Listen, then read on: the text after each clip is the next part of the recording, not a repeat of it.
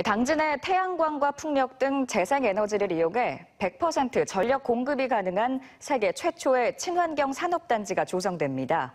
김진석 기자가 취재했습니다. 당진시가 아리백 산업단지를 조성키로 한 현대제철 인근 46만 제곱미터의 예정 부지입니다. 세계 최초의 아리백 산업단지는 태양광과 풍력, 바이오매스, 수소 연료 등 재생에너지를 이용해 단지 내 전력 100%를 공급하게 됩니다. 기존 산업단지는 석탄 등 화석 연료를 통해 전력을 공급해 오면서 오염물질 배출로 민원을 유발하고 있습니다. 특히 공업도시인 당진시는 전체 전력 생산량 중 재생에너지 발전 비중이 0.3%에 불과합니다.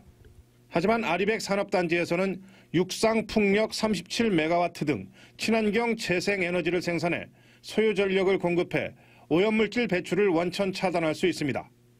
미세먼지라든가 대기오염의 아주 어, 획기적인 감축뿐만 아니라 요즘 우리가 겪고 있는 기후 온난화의 그 저감을 위해서 큰 효과를 기대하고 있습니다.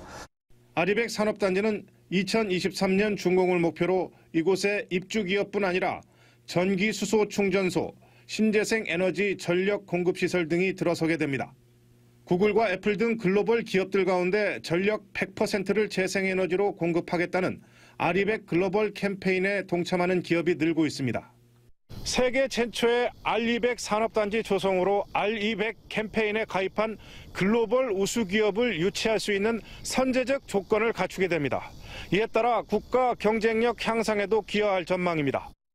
현재 전기사업법상 재생에너지 발전 사업자와 전력 소비 기업 간 전력 판매 계약이 불가능합니다.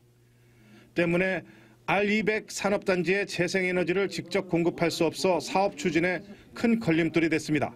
하지만 올 12월 국회에서 관련 조항이 개정될 예정이어서 가장 큰 난관이 해소돼 사업 추진에 탄력을 받게 됐습니다. TJB 김진석입니다.